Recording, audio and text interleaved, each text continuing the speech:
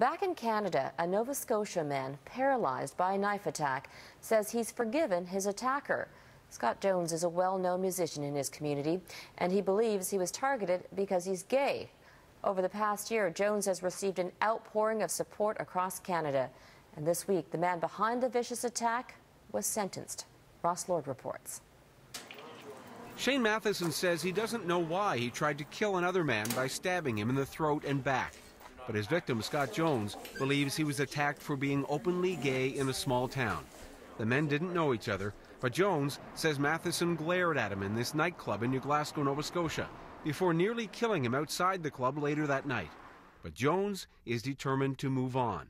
He spoke to Shane and, and said that, that he forgives him, which was um, just amazing. And I, I myself don't know how he's able to get, has been able to get to that point, but um, it shows his strength and his, uh, his spirit.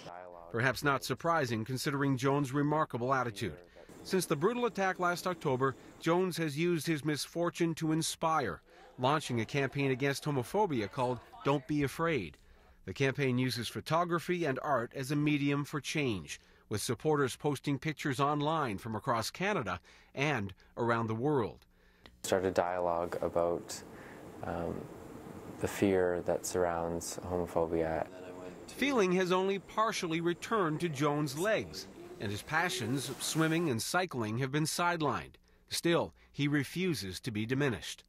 You really can um, lead a happy life.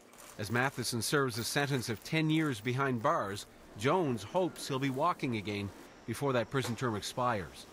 Ross Lord, Global News, Halifax.